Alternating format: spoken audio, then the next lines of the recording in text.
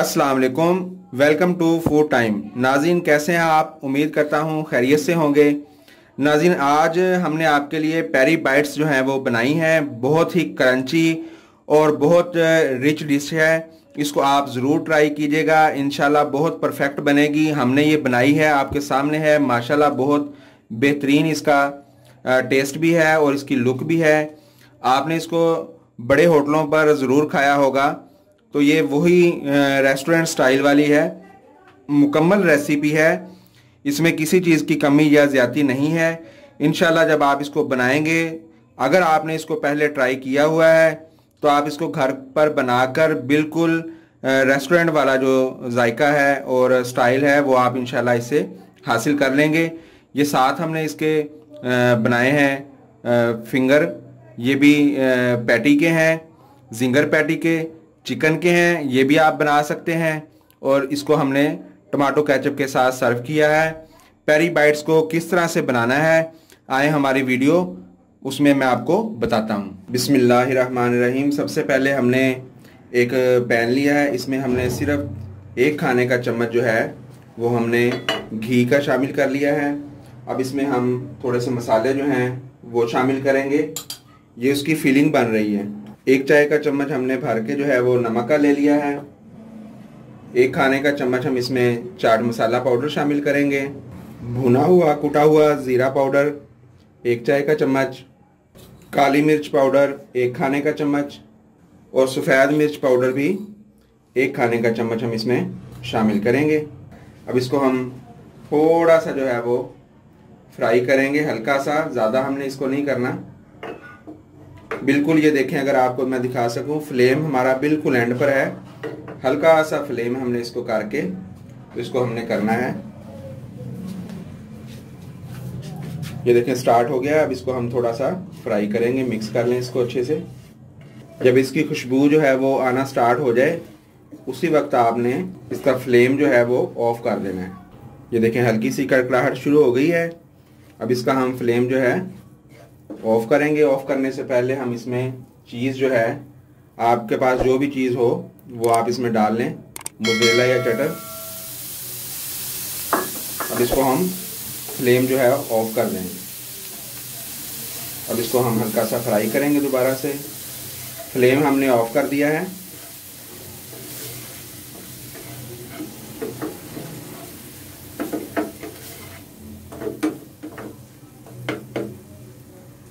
अब इसमें हम तीन, चार चम्मच जो है वो पानी शामिल करेंगे। तो इसको मिक्स करेंगे।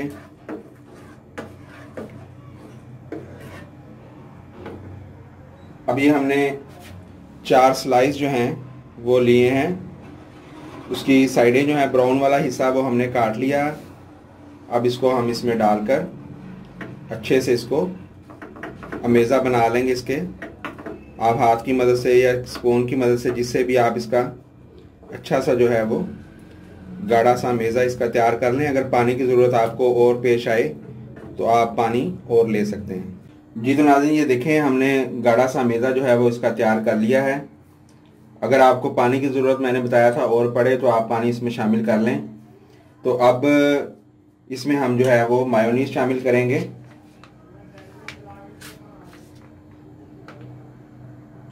दो से तीन खाने के चम्मच आप इसमें मायोनीज जो है वो शामिल कर लें। इसके मसाले जो हमने इस्तेमाल किए हैं, आप अगर कम या ज़्यादा उसको करना चाहें तो आप कर सकते हैं।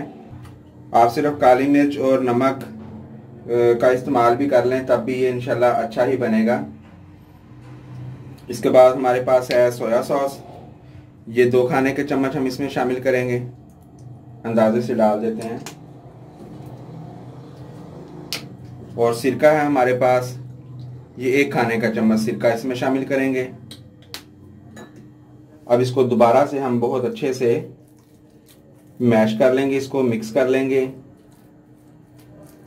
आप हाथ की मदद से करें, किसी स्पून की मदद से करें जिससे भी करें, आप इसको बहुत अच्छे से दोबारा से मिक्स करें।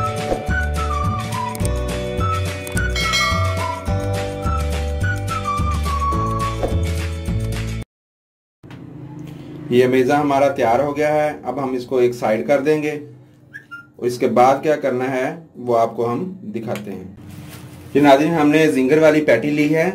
जिंगर बर्गर के अंदर जो पैटी रखी जाती है, तैयार शुदा ये हमने वो ली है। अगर ये आपको मैसर ना हो तो आप इसकी जगह पर चेस्ट का पीस जो है वो लेकर उसको सेंटर में से दो करके उसके कतले बनाकर चुड़ाई में, उसको आपने हल्का सा ऑयल डालकर पाइफान में तो उसको आपने गोल्डन कर लेना है। गोल्डन करने के बाद वो भी आपके पास तकरीबन इसी शेप में आ जाएगा तो इसको हम इस तरह से ब्रिक फिंगर स्लाइस में इसको काटेंगे। इस तरह से।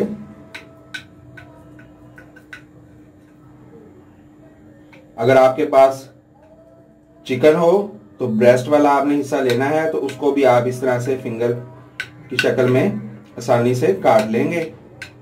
ये तमाम काट कर फिर आपको दिखाते हैं कि इसको मिर्चों में किस तरह से हमने फिल करना है।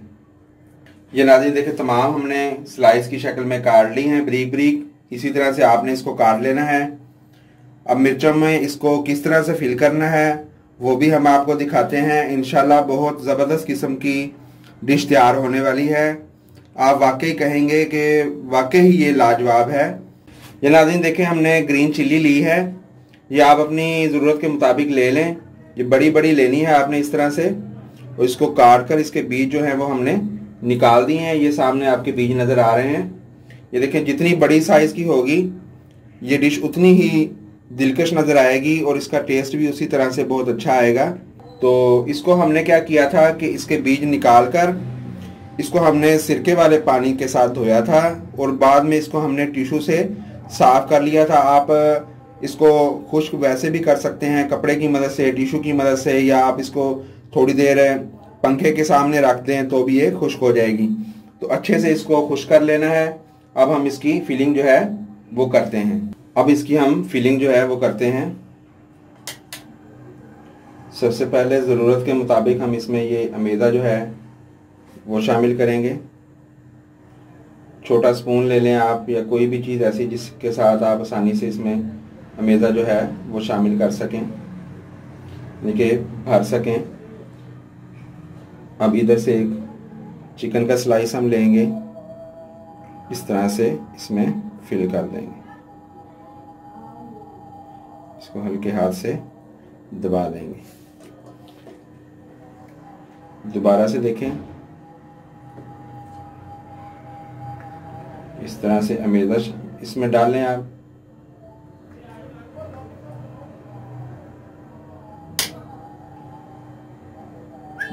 जितना आपका मिर्च का साइज़ हो, उतना ही आप चिकन का स्लाइस ले लें। और इस तरह से आप उसमें इसको डाल दें। हल्के हाथ से इसको दबाकर। ये तमाम की तमाम हम अब इसी तरह से इसको फिल कर लेंगे। जितने आदमी देखें, हमने तमाम जो है वो फिल कर ली थी अमेजे से, और चिकन के जो स्लाइस थे, वो भी हमने इसमें डाल लिए थे। अब हम इसको क्या करेंगे कि अंडा लिया हमने कॉर्नफ्लावर लिया है और ब्रेड क्रम्स लिए हैं। सबसे पहले इसको हम अंडे में डिप करेंगे। अंडे में डिप करने के बाद कॉर्नफ्लावर लगाएँगे हम इसके ऊपर। अच्छे से आपने इसको कॉर्नफ्लावर लगाना है।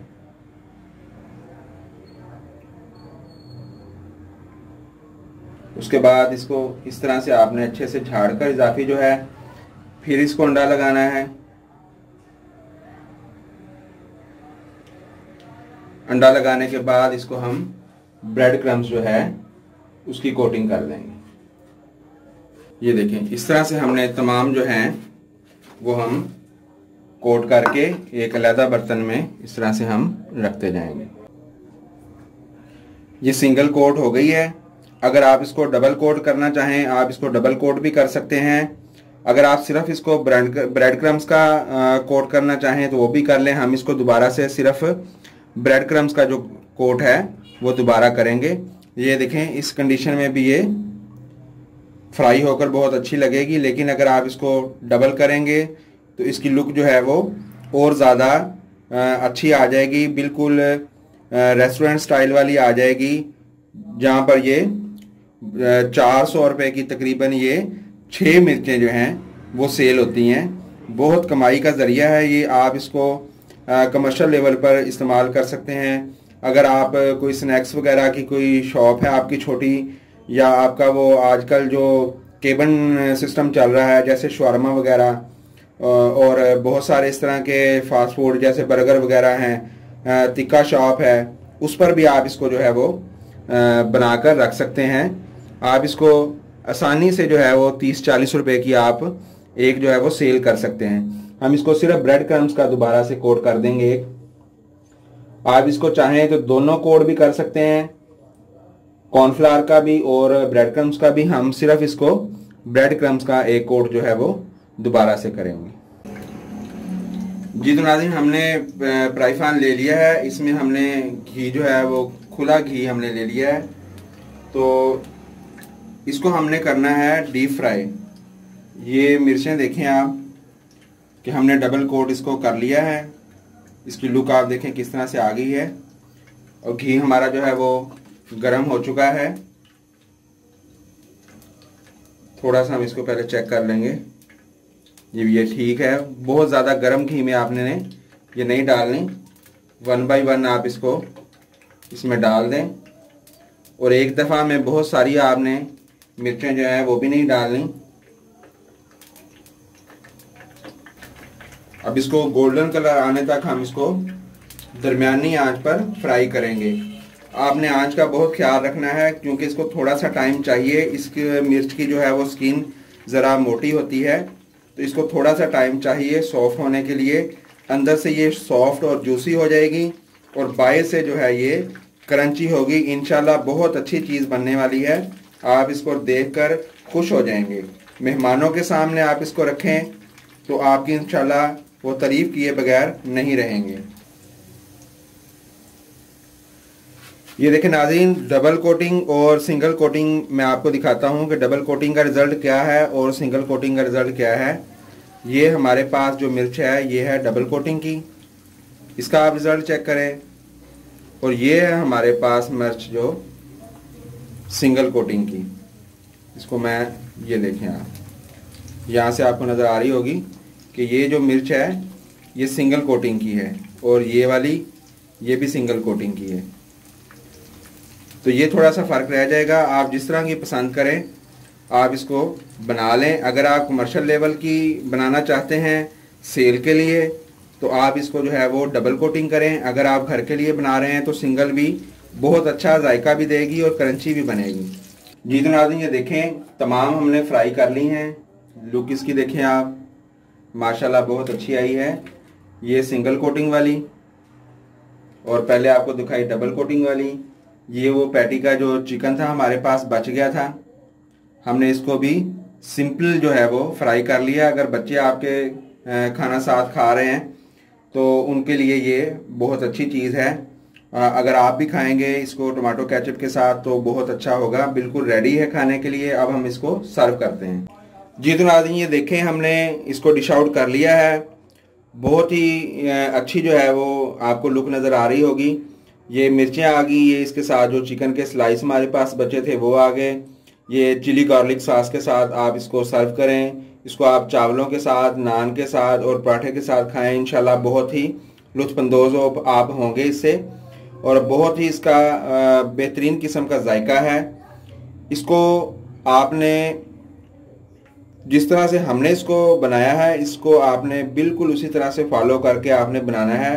इसकी कोटिंग का और इसकी फिलिंग का जो है, वो आपने बहुत ध्यान रखना है।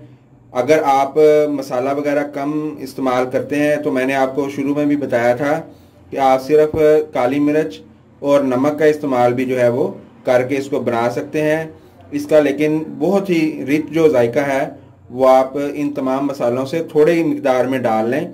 तो आप इसे हासिल कर सकेंगे। बहुत क्रंची है। अगर आज की हमारी वीडियो आपको पसंद आई है तो इसको लाइक कीजिएगा, शेयर कीजिएगा और कमेंट्स बॉक्स में अपनी कीमती राय जो है वो ज़रूर दीजिएगा। वीडियो को मुकम्मल देखने का शुक्रिया। Thanks for watching. अल्लाह हाफिज़।